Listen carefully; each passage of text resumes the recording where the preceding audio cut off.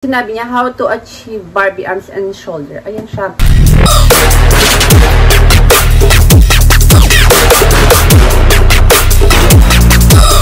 Hi guys! Welcome back again to another video. Ayan, very simple lang and mabilisan lang tong vlog na to dahil nag-post po ako sa group ko. Ayan, yung The Fairy God Barbie HRT Babies. And nag-post ako kung ano yung mga gusto nilang i-vlog ko. Wait lang, mag-retouch lang ako ng very light. Galing ako sa treadmill, nagpapawis ako ng very light kasi tinatamaan na naman ako ng katamaran and kabagutan. Then, post ako, kaya mabilisan lang to. Ang gamit kong ano, pang vlog ay yung ano ko lang, yung phone ko. Ayan. Which is, perfect din naman, basta maganda yung lightings and okay din yung galaw niya. Ayan, habang nag-retouch din ako ha, mag-ano, mag-vlog tayo. So, and nag-post po ako ng kung ano po yung gusto nilang marinig na mga, or mga i-vlog ko. And ang daming mga nag-comments. May gusto ng mukbang, may omegle prank, may ano pa tawag dito, mga mukbang-mukbang, mga ganyan, and mga proper hygiene. Iisa-isahin ko na lang total, parang ganun din naman, kasi kapag camera yung ginamit ko, is medyo matagal pa yung processing nun. Ito transfer ko pa, eh unlike nito, ano na siya agad, di ba? Pak mabilisan lang. So, ayun, ang napili ko muna ngayon ha. Actually, wala pa itong isang araw. Kanina lang. Ito lang, nag-post ako. Ang napili ko na kayo is yung kay Bea de la Fuente. Ayan. Pakita ko, from, from New York siya. Sinabi niya, how to achieve Barbie arms and shoulder. Ayan siya. Mm. Medyo okay-okay na siya ulit kahit paano na ibalik ko na. Aminin, maraming tumabanga yung pandemic, gawa ng tenga sa bahay, kain, tulog, meme, walang ganap. And more on, ano lang, tawag dito, more on pa-fresh. Kaya yung iba is nag, ano, tawag dito, nag-hoard ng mga hormones para hindi maging incredible hook. And hindi nyo pala sinabi sa akin ha, na na kifay pala si mama. Wala nag-update sa akin na kifay pala si motherhood. Di ba? Pero, charing lang. Ayan, 3 weeks ago, nagpa-Barbie arms ako. Pakita ko na lang dito sa gilid ha. And nagpa-high po ako. Ayan siya. Ayan, hindi ako masyadong confident ngayon kasi nahihiya ako very like kasi hindi ako masyadong fresh. Paano ko nga ba na-achieve to? Yung ganyan. Yung balikat, tsaka yung shoulder ko. Alam mo, sa totoo lang ha, dati nagtataka rin ako, bakit ang ninipis ng mga tayo? Yung mga pag nakikita ko sila, ba't ganito naman nakakaloka sila? Actually, sila nagpa-ocean yan. And talagang, syempre, kada punta natin doon, ang dami natin na-discover. And kaya kahit paano, nakakalibreta na rin ako. Kasi nga pa, syempre wala na akong payables. And, ayun siya, kahit paano is na-achieve ko na rin naman na.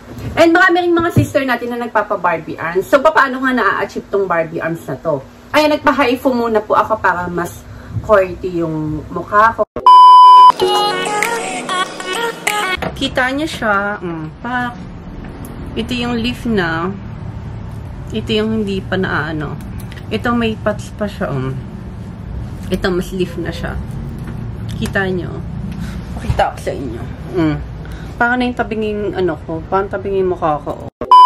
Alam mo, nagpa-thread lip ako sa Thailand. Ayan, yung thread lip, yung parang, yung karayom na mula dito hanggang dyan, ang laki, medyo nakatakot siya kasi parang gumag gumaganin yung, ano, yung balat mo.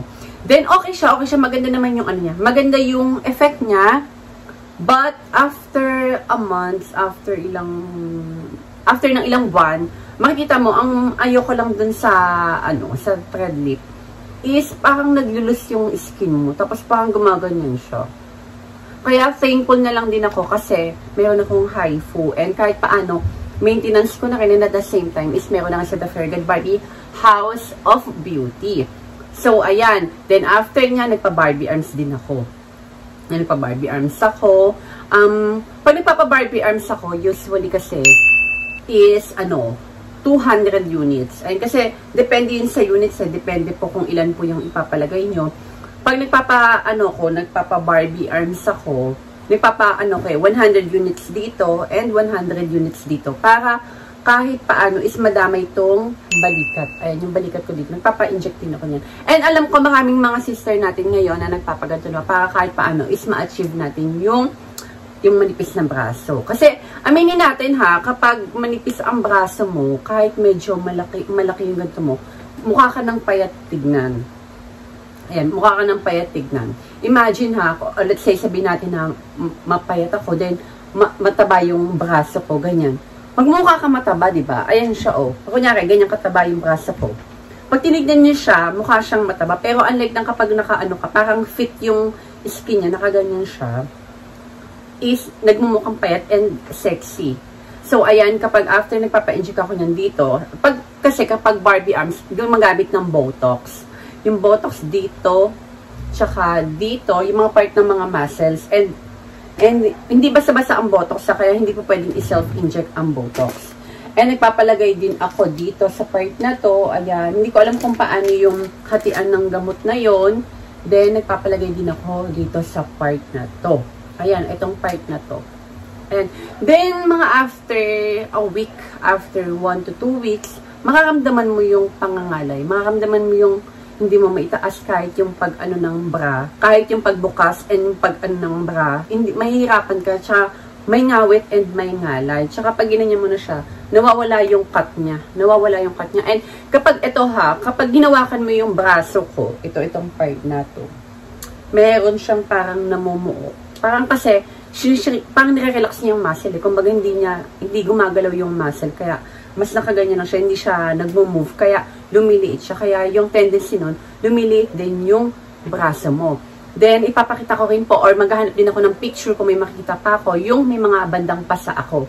Yan. Dito naman sa part na to, yung mga nakalaylay na mga balat na ganyan, ayan, kahit paano is wala na, is minimesalay po ko yan.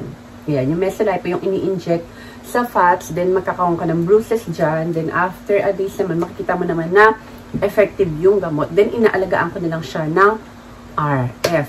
So, ayan, kahit paano is na-achieve ko na rin yung Barbie arms and nakakatuwa lang din po. And syempre, dapat sasamahan pa rin naman natin ng diet. Hindi ibig sabihin na nagpa-Barbie arms ka, nagpa-mesalay ko ka sa chan or sa braso. Is dead maka, yung kakain ka ng kakain, lalapok ka ng lalapok, bererong pa rin yun. Syempre, kahit paano, konting disiplina pa rin tayo sa pagkain natin and sa mga tinitake natin.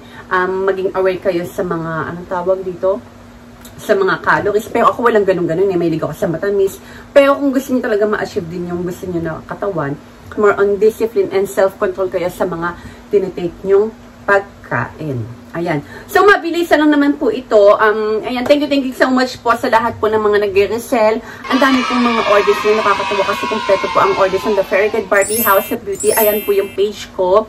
And ayan po yung group ko. Diyan po ako nagpo-post sa mga chikahan, baklaan, ng mga advice, sa mga topic and discussion. Mag, um, join na lang din po kayo. And ilalagay ko na lang din po sa description down below po yung pinaka-link. Kapag order naman po kayo, ay mag-message lang po kayo sa Facebook page ko and Instagram. And don't forget to follow my personal account. Ayan yung Facebook ko and yung Instagram account ko. And open pa rin po tayo sa resellers and wholesalers and bulk orders and medyo mabilis ang mga stocks ngayon. And thank you, thank you so much po dahil patuloy po kayong sumusuporta sa akin kahit pandemic. And patuloy pa rin po ang pagpa-fresh at manikaan. Okay? Tumatanggap pa rin po tayo ng mga appointments, sa mga schedule. Basta mag-message lang po kayo. And wait nyo lang po yung mga sasunod pa nating vlog dahil isa-isahin po natin yung mga request nyo. Don't forget to like and subscribe my channel and hit the notification bell para mas updated po kayo sa mga bago kong video.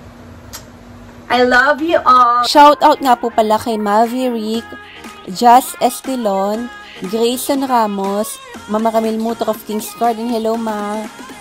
Aquila Arch Scarlett, Paula Gerson Danao, Chloe Smith, June 8 Atali, J. Lopez and her BF Mark Ebdao, Mark Singson, Maria Pulin Cosio, and Jerish Arcela Boleros. Thank you, thank you so much po sa lahat ng nanonood at sumusuporta. Enjoy lang po kayo sa group natin. I love you so much and God bless us all. I love you. Mwah.